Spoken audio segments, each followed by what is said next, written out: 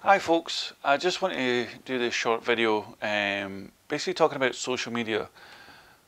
What is your thoughts on Instagram now that it's declared itself not a photo sharing app? Photo sharing app. I know I'm so far behind the trend of everyone doing videos about it, but um, I've always struggled with social media. I mean, I grew up with it when the age of it when it came in. I was in my late teens, and it's been around for a long time. But it's something I've never really got into. I've never really um, done a lot of like things. I've never even really entertained Reddit or anything like that. I've never got into the whole internet scene. I've always been a face-to-face person. But um, with trying to grow this channel, I've realised that I'm going to have to start using social media more.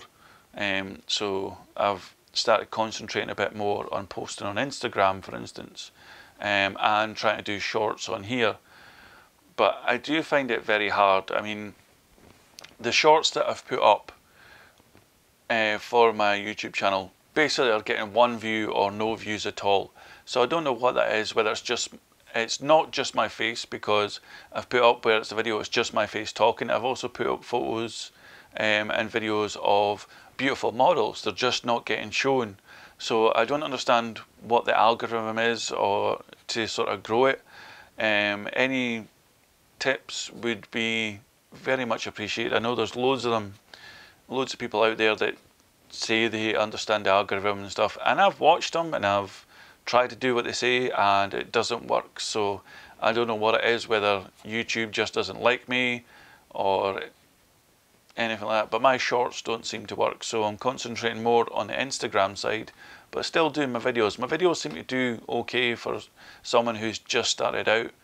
But yeah, any any of your thoughts would be very much appreciated. Anyway, um, the usual bits that I talk about. Um, any lumps or bumps for ladies and gents out there, please go and get them checked out by a doctor. If you've been feeling unwell for a number of weeks, also go and get checked out by a doctor. The last thing in the world I want to hear about is someone else getting cancer. Um, it's a horrible, destructive disease. This is my second time round with it, and hopefully after my next surgery. That'll be the end of it.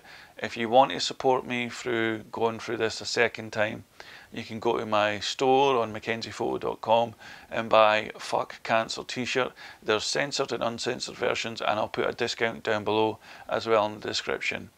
Um, or if you like my work and you want to purchase a signed print for yourself, there is a limited amount on my store as well. Um, and once that print run is done, that'll be it. Um, if you wanted, I can uh, send it to you just rolled up, or I could have it framed and shipped out to you. Obviously, there is additional cost in getting it framed and getting it shipped to you. Um, but yeah, I just wanted to have that quick conversation. And like I say, any hints and tips, please send them my way in the comments down below. Down below. So please like, comment, and subscribe. And I'll see you in the next video.